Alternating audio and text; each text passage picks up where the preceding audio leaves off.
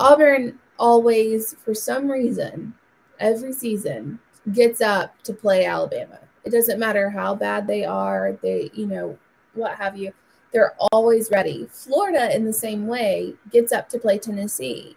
Mm. So, how do you see that, or do you see that affecting this game going forward this weekend for the Vols? Well, I, look, I think both teams are going to be up for it. I mean, I think Florida's going to be up for it. I mean, you know, might look at a little bit of well, South Florida looking ahead. I, you know, look, both are going to be up for it. I mean, it's Florida, Tennessee. Um, yeah. Like if you go back in the history of Florida, Tennessee, um, and I'm talking, let's just go 90s on. Florida was just better. I mean, when Florida and Tennessee were the two best programs in the conference, it was clearly Florida one and Tennessee two. And that game in, in we play very early, decided the East. It decided basically who's going to win the SEC, and at that time, it decided who was still in the race for the BCS. You know, that's that's kind of what it meant.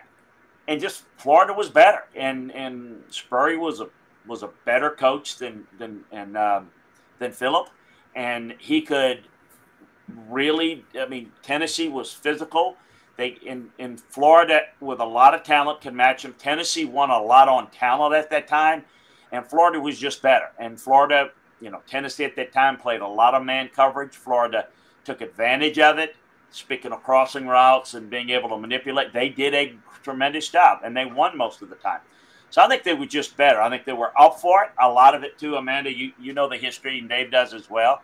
Steve Spurrier was from East Tennessee, and he wasn't recruited, but well, they didn't throw the football to Tennessee. So he goes down to Florida because, you know, and now he will use it as a chip. Well, they didn't recruit me. And, you know, anyway, would it, so he used that as a chip on his shoulder. I mean, Steve lived with the chip on his shoulder. I mean, he still does. I mean, he makes a turn on the back nine and he's got a chip on his shoulder about something. He's just that, he's just that way. So I think that has a lot to do with it. I think going forward, it's going to be interesting. Um, I, I'll say it again. I think Tennessee's in a good position to take advantage – of Florida now because I, I don't know if Tennessee's going to have the advantage roster wise over Florida in two years or three years. A year, maybe. But this year, Tennessee's definitely got a personnel advantage, and I'm curious to see how they're able to handle that. It was 24 years ago today, not to take away from this day in sports history, that Tennessee beat Florida at home in 1998, and the famous call by John Ward, Ward Pandemonium reigns.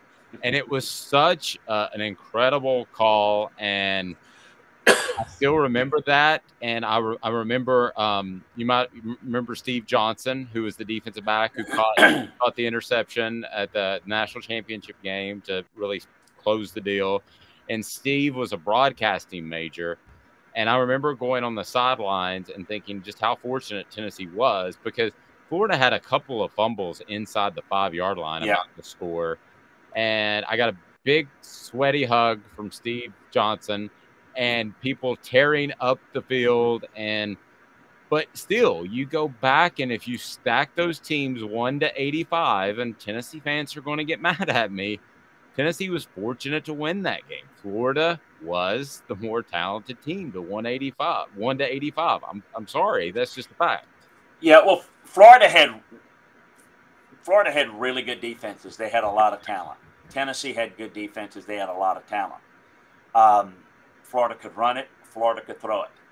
Tennessee couldn't throw it and and they didn't have much of a passing game. They weren't very well coached on that side of the ball most of the time. I thought Cutcliffe, when he was there in his stints, they were better. They were more creative, and I thought they he got more out of the offense. But but they just weren't as good because Spurrier would attack, attack, attack, and, and Phillip was a little more conservative. Well, that you know, and Phillip would always say, "Well, we won all, a whole lot of games over here doing that," and he because he, had better talent. Phillip won games in February signing day. there wasn't a lot of um, strategic ingenuity there. So when the talent level was was relatively close, they lost.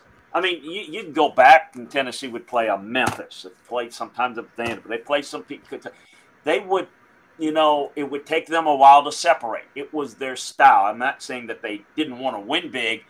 They just didn't explode on you. They had to wear you down, run the football. That's what they did. Well, against against Florida, Florida would get some points on you, and Tennessee'd have to match points in most of those games, and they just couldn't do it. And they just couldn't do it. They weren't made that way. So they weren't made to win those type of games.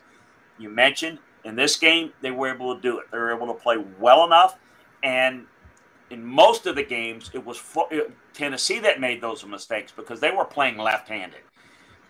You know, Florida you know, made mistakes, and Tennessee took advantage of it, and, and and I think Florida did leave some points on the field, but they were they were obviously very happy. You always know when the game when you rush the field. I, I always say this, and it's a it's a good example, and it's a good lesson to learn. You don't want to be the type of program that rushes the field yeah. after you win a big game. You want to be the type of program that the opponent rushes the field after they beat you because then it's a big deal.